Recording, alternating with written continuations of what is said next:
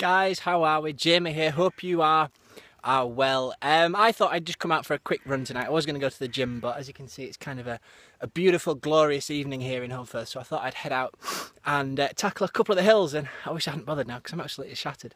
Um, but what I thought I would do I got into a little bit of a discussion on one of the forums that I'm on today uh, regarding regarding money, basically, and I kind of want to share this with the world and be prepared because it's quite powerful, and it also ties into the lifestyle and having lifestyle choices and lifestyle freedoms that quite often, certainly when you're starting out on the journey of your own, you're kind of shackled by. And that's through the social conditioning, the parent conditioning, school conditioning, social structure, and so on. But that's for uh, certainly a longer video than this. Um, but what I wanted to talk about and really kind of to to get home and, and to really feel inside and, and take onus and control of is the fact that you have the power to do whatever you want to do or whatever you don't want to do. So if you get asked to do something and you don't want to do it, nine times out of ten, you don't have to do it. But maybe you feel through a moral obligation or social structures or whatever, feels that you have to do something. Similarly, if you want to do something badly enough and have that that kind of inherent burn and need and yearning inside of you and really want to do something and achieve something, go and do it. Because the only person that's stopping you from doing that is going to be yourself. It's going to be whether it's financial. I mean, the, the one on the forum today was was an interesting one, and it was talking about maybe not possibly not having the money to afford a hundred dollar a month subscription just for a month or two months or whatever to, to get things going and and kind of what I talked about was that is possible for anyone. Anyone can find $100 or $50 or however much it be, whether they sell something on eBay, whether they do some drop shipping on eBay, whether they um, do a gig on Fiverr, whether they're freelancer time, or whether, God forbid, they go out and get a job. You know, so there is always something that you can do to scrape together a couple hundred dollars.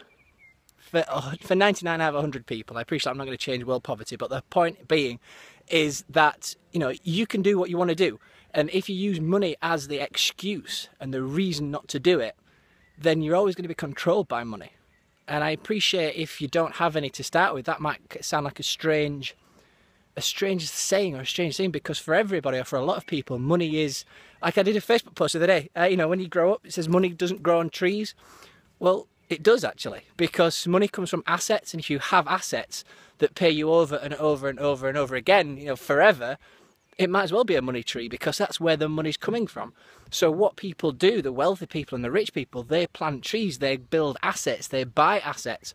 And once you have that asset, you can do whatever you want. But I digress. I'm kind of talking about the power and the control of, of having your own life and being able to achieve what you want to achieve. And once you have that understanding and that grasp on your own outlook, you shape your own destiny and you will get what you deserve to achieve, whether it be nothing because you've not done any work or you've not changed the lives of others, or whether you've embraced change, whether you've tried something new, and whether you've gone on and, and impacted and touched on hundreds or you know even a dozen people, you will have a better life. If you do a thousand people, you'll have so much more of a better life.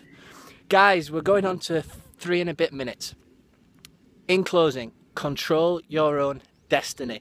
You are the one that's in control of it, no one else.